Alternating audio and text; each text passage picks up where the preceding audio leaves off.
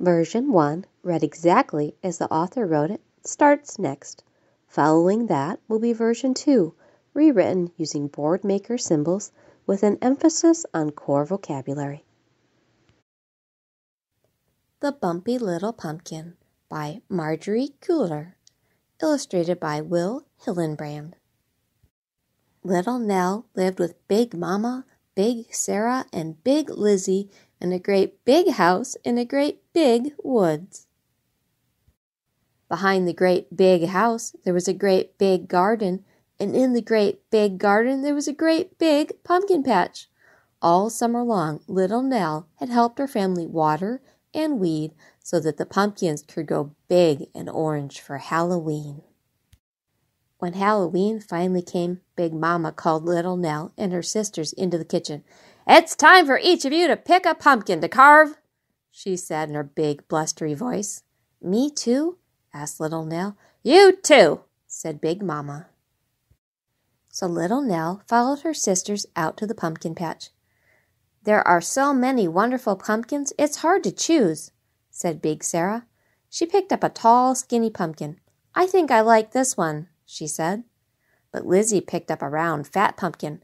This is the one for me. But little Nell couldn't decide. She walked back and forth, back and forth, back and forth, looking at all the pumpkins. Some were big, some were small, some were crooked, some were tall, but none was just right. At last she came to the end of the patch, and there sat a bumpy little pumpkin all by itself. This one's my favorite, said little Nell. It's bumpy and little and ugly, said Big Lizzie. You could have a nice smiley face, said little Nell. No way, said Big Sarah. How about this nice smooth one instead? I like the bumpy one, said little Nell. Big Sarah and Big Lizzie rolled their eyes. We're taking our pumpkins inside, said Big Sarah. You keep looking till you find a bigger and better one, said Big Lizzie. Then we'll help you carve it, added Big Sarah. After they left, little Nell sat down next to the bumpy little pumpkin. A tiny tear fell down her cheek, and then another, and another. Her friends Reindeer, Hare, and Bear Cub came along. What's wrong? asked Bear Cub. Little Nell sniffed and snuffed. Big Lizzie and Big Sarah think my pumpkin's too bumpy and too little and too ugly to make a good jack o' lantern.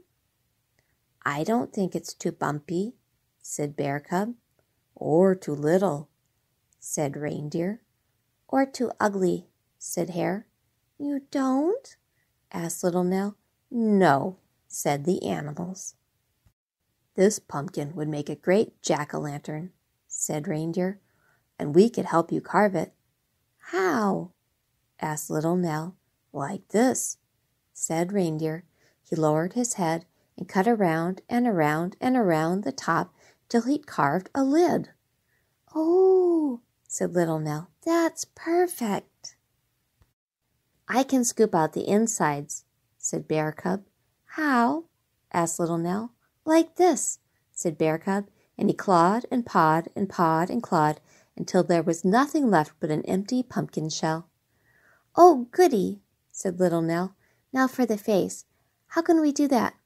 Let's ask the birds to help, said Hare. So little Nell whistled for the birds. Crows, cardinals, and sparrows flew down from the trees. Can you make a face for my jack o' lantern?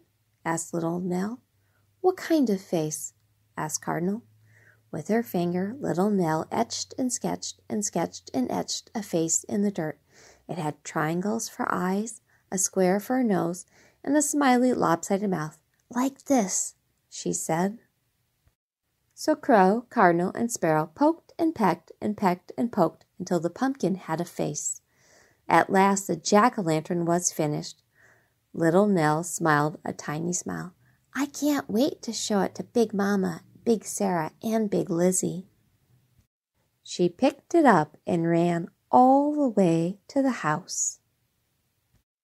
What a beautiful jack o' lantern, said Big Mama. Where'd you get it? From our pumpkin patch, said little Nell. But who helped you carve it? asked Big Sarah. My friends, Reindeer, Bear Cub, and Hare, said little Nell. I still think it's little and bumpy and ugly, said Big Lizzie. Nonsense, said Big Mama. Jack o' lanterns come in all shapes and sizes. The girls placed their jack o' lanterns near the door, and Big Mama lit them. Mine's cool, said Big Sarah. Mine's even cooler, said Big Lizzie. They're all wonderful, said Big Mama. Even mine? asked Little Nell. Even yours, said Big Mama, and she leaned over and gave Little Nell a big sloppy kiss. Little Nell smiled. Happy Halloween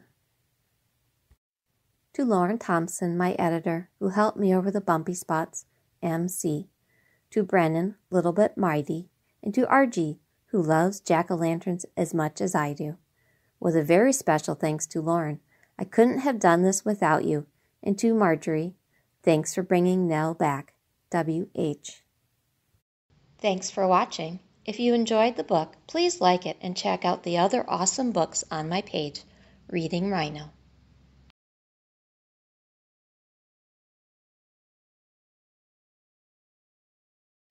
The Bumpy Little Pumpkin by Margery Cuyler, illustrated by Will Hillenbrand. Little Nell lived with Big Mama, Big Sarah, and Big Lizzie in a big house in a big woods. Behind the big house was a big garden with a big pumpkin patch. They weeded and watered the pumpkin patch. Time to pick a pumpkin. And me? Yes. Big Sarah wants a tall, skinny pumpkin. Big Lizzie wants a round, fat pumpkin. Little Nell looked and looked and looked she found a bumpy little pumpkin. She liked the bumpy little pumpkin. They no like the bumpy little pumpkin. They said, find a different pumpkin. Little Nell felt sad. Her friends said, we like the bumpy little pumpkin. It's perfect. We can help you carve it. Bear helps. Birds come.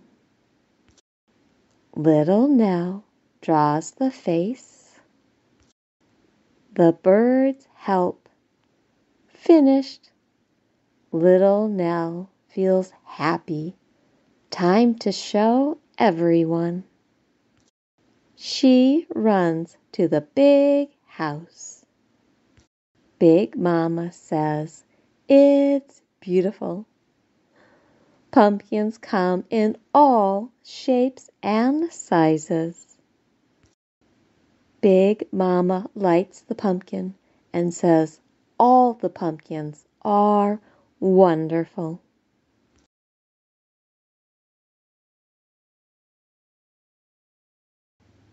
Happy Halloween. Finished. Thanks for watching. If you enjoyed the book, please like it and check out the other awesome books on my page, Reading Rhino.